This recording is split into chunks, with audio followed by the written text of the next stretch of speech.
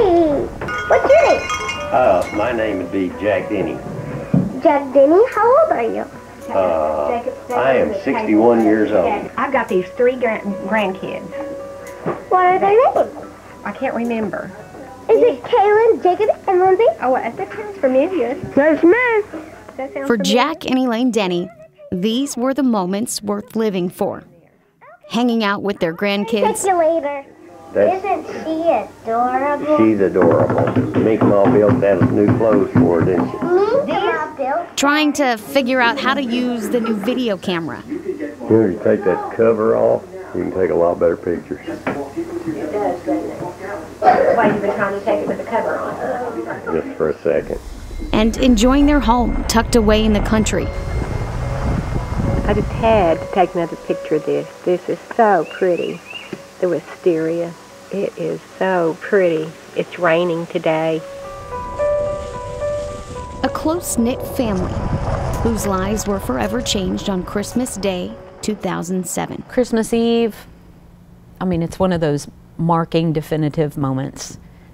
Our lives before, our lives after. So Christmas. Sarah Keener was heading down Iron Post Road on her way to her parents' house on December 25th, 2007.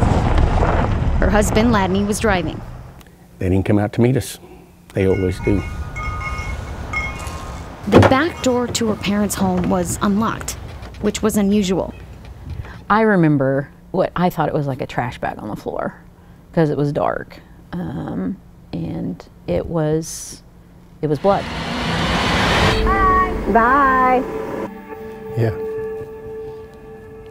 Yeah, this is the one that, that sticks with me. Words don't come as easily as the memories do for Jason Chenault when he talks about the Denney murders. If you looked up the definition of innocent victims, it's Jack and Elaine Denney. The Denneys were found shot to death in their home. Dinner was still on the table, dishes in the sink. The peanut brittle Elaine was going to give to her neighbors was on the counter, and her calendar stuck on December 23rd. I remember it just as plain as day. Um, nothing was disturbed. The Denney's home was in the country on a gravel road that few traveled down. The only sign that something was off was a rolled up rug in their otherwise immaculate home. Chenault says it's as if someone came to kill them and didn't leave any evidence behind. Nothing was stolen, no 911 calls, no DNA, no motive, just pictures. You know, nothing's been easy. Nothing's been easy with this. When it came to investigating leads, the Cherokee County Sheriff's Office checked out any tip, including one that there was a man living in the woods behind the house. Just different theories like that that nothing has stuck to the wall. In the 10 years since, Chenault hasn't been able to answer two questions Who killed Jack and Elaine, and why? When I can walk up and knock on the daughter's door and tell her that we've got someone in jail. That's what keeps me going.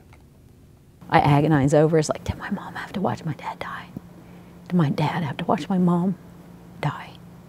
You know, how, how did that happen? There's no moving on for Sarah and Ladney, whose sadness has turned into frustration over the years. Why their parents? Why has no one come forward? You don't just get over it. Um, it's, it's forever. Forever stuck on December 23rd.